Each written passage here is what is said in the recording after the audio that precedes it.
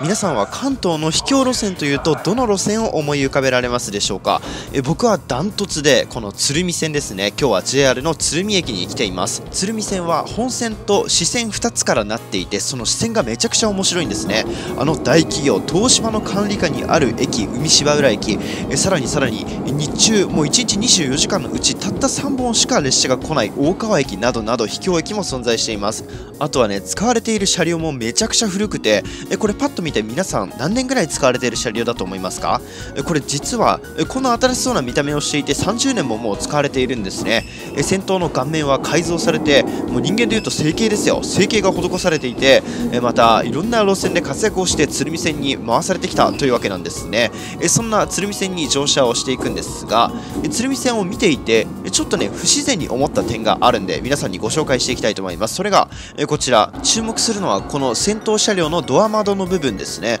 窓枠が結構大きくなっていますよね。ドアに対して2分の1以上の長さは2分の1ぴったりぐらいかな。半分ぐらいはこの窓枠縦長の部分の面積が占めているのがよくわかります。これは1号車ですね。でテクテクと歩いていくと3両編成のうちの真ん中の編成。この2号車のところに来てみるとご覧ください。これよーく見てみるとこの窓枠の大きさ全然違いますよね。こっちはなんか卵みたいでちっちゃくて可愛らしいですけれどどう見てもドアに対して2分の1以上の面積がない。長さがない。えつまりは一番右側のさっき見た号車よりもあのこのドア窓の部分が短く小さくなっているんですね。一体これは何なんだと。いや同じ編成でね3両ぴったし1つの編成なんだから同じく一緒の大きさで仲良し小良しでいいじゃないかって思うんですけれどほらどっからどう見ても全然違いますね。右の方は景色をしっかり楽しめそうなのに対してえこっちの2号車のドア窓の部分はなんかこれちっちゃいぞ。景色が見づらそうだろって感じですけれどあのこれもこのカオスな路線 JR 鶴見線の魅力なんですね。ちなみに3両編成のあるうち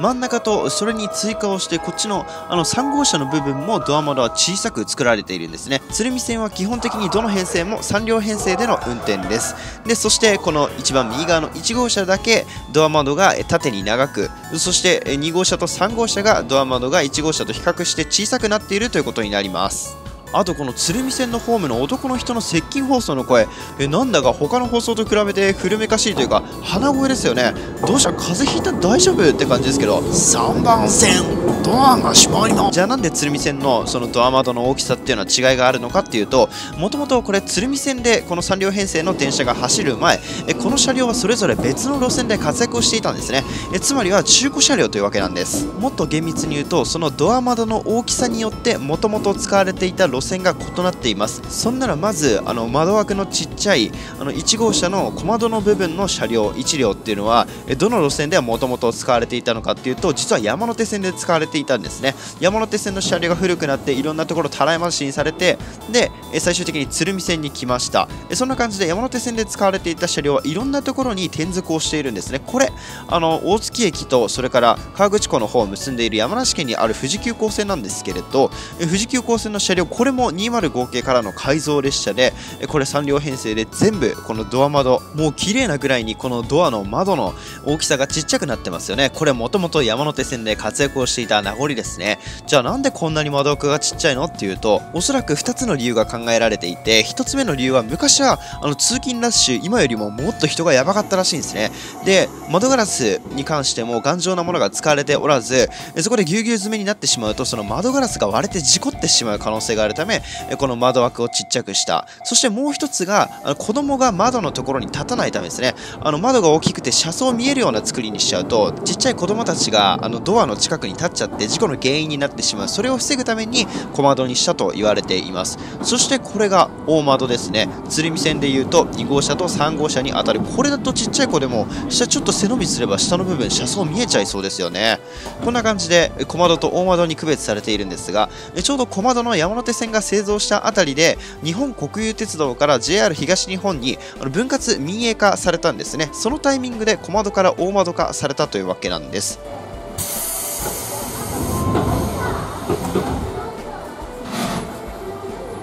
まあ、そんな背景があったため駒田は山手線そして大窓に関しては山手線の次に導入をされたあの横浜線とかももともと205系だったんですけれど横浜線それから南武線だったりとかあとは埼京線なんかにも205系はもうつい最近まで使われていましたけれど、えそういった山手線以外の、まあ、首都圏の路線に導入されることになったんですね。実際にこの2号車と3号車ももともと埼京線で活躍をしていたその205系から引っ張ってきたんですね。つまりはこの3両編成のこの鶴見線っていうのは山手線と埼京線でもう使用済みになった205系をオンボロちょっとお前来いやっつって3両持ってきてそれで無理やりひっつけて走らせてるっていうことなんですね。そんでこれまた映像切り替わりますがこれでっけえヘッドマークつけてますね。これも富士急行線の映像なんですけれど富士急には元山手線の205と元埼京線だったりとか他の路線の205系が混在しているんですね。これご覧ください。なんかすんごいごっちゃごちゃした塗装ですけれどドア窓見てみるとこれ大きいですよね。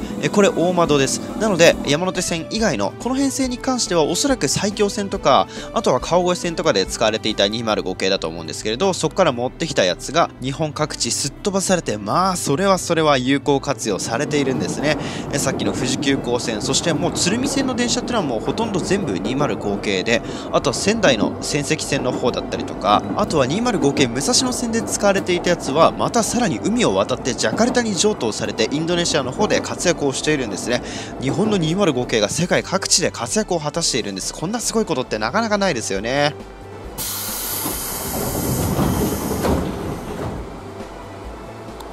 これね205系っていうのはあの115系とかと同じくしてあのドアの閉まる速さが半端ないんでギロチンドアとかとも呼ばれているんですけれどあの厳密に言うとあのさっきもお見せしたと思うんですけれどあの元埼京線とかのやつとこの元山手線のコマド車比較すると正確に言うとこの元山手線の車両の方がドアが閉まるの早いみたいですね。いやこんなんに手挟んだら腕ごとぶっ飛んじまいそうですけどね。めちゃくちゃ怖いな。あとは国鉄車両あるあるなんですけれど昔の特急型電車とかもそうなんですけれど出発するときに今の電車ってもうなだらかにスーッと発車していくんですけれど昔のやつは一旦ガコンっていう振動がどでかい振動が来るんですね。昔乗った夜行列車とかもそうでしたけれどその振動であの夜寝てても起きちゃうんですよね、まあ、それがちょっと乗り心地は悪いですけれど、まあ、でもそれが昔の国鉄車両の名残と考えればもう鉄道マニアとしてはもう嬉しい限りです。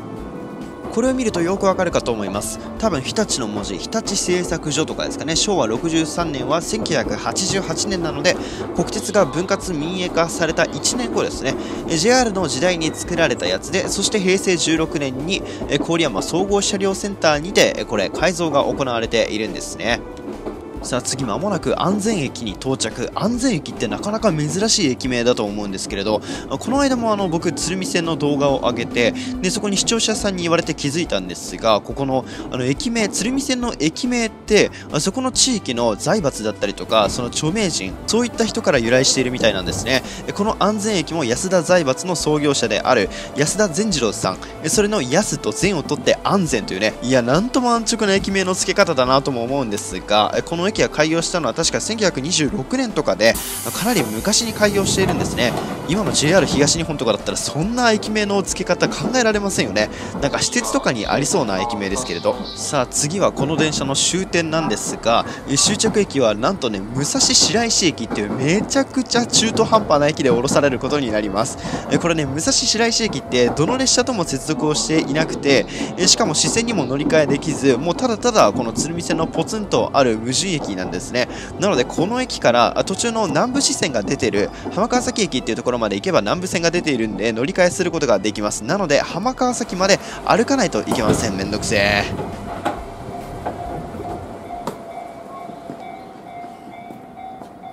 もうこの武蔵白石まで来ると乗っている人は本当にわずかですね。鶴見線この時間帯15時ぐらいだったと思うんですけれど鶴見線の主な利用客っていうのはその臨海部の方に行く通勤客の方々。なので朝夕しか混まない。日中来るともうほとんどねガラガラ。なので朝とそれから昼のギャップその利用者数のギャップが激しい路線でもあります。しっかりこれ改造が施されたこともこの車の端っこに記載されています。そしてこれ横にうにょーんと伸びているのがこれ本線から分岐してきた大川支線というやつですね。本線に対して支線っていうのはまあサブ路線みたいな感じで捉えていただければと思うんですけれどそういった路線がこれなんとね武蔵白石駅をギリギリ経由せずに曲がっているんですね。なので区間はあそこの向こう一つ先の安全駅から終点の大川までを結んでいる一駅だけの支線なんですね。なんとなんと1日に3本しか電車が来ないっていう僕東京の中でもかなりあの秘境というかトップレベルに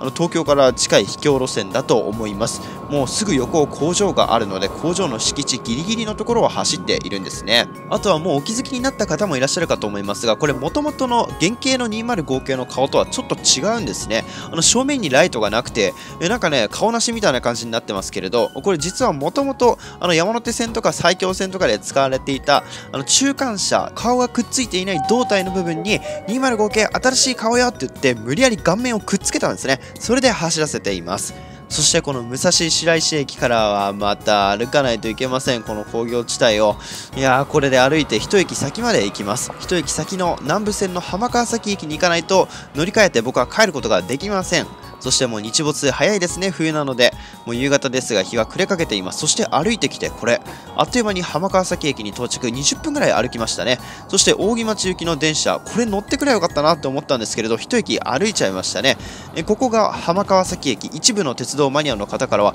かなり人気、評判のある駅ですよね。ここは先ほどの鶴見線と、それから知って方面に行く南武線、南武支線っていうのが伸びているんですけれど、別路線、同じ駅なのに改札を出て乗り換えをしないといけないっていう、なんともへんてこな駅なんですね。鶴見線の線路沿いをずっと歩いてきましたが、この左側に構えてあるこの駅、浜川崎駅とありますが、こっちが南武線、南武支線の方なんですね。なので、えこの道路を渡って乗り換える必要があります。なかなかこういう駅もありませんよね。そして、このこれから乗車をする南武支線に関しても、実は205系の改造列車が使われているんですね。それが見えてきました。こちら。ちょっとラインの色が異なりますけれど、こっちは黄緑っぽく緑色のラインが使われています南武線といえば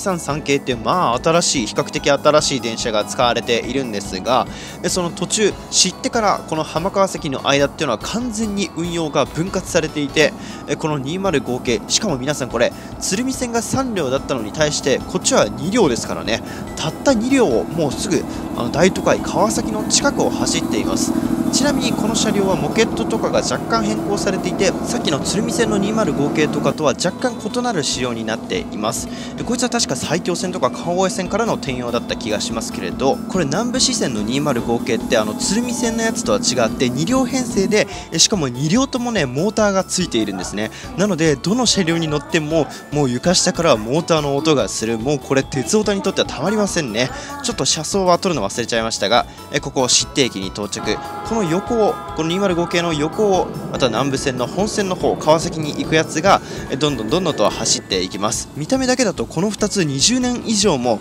あの製造年の差があるとはなかなかに思えませんよね。鶴見線っていうのはもうただでさえ鉄道マニアから人気の高い路線ですが車両も一つ一つ他の路線から転用されたまさに鉄道マニア必見の路線でした。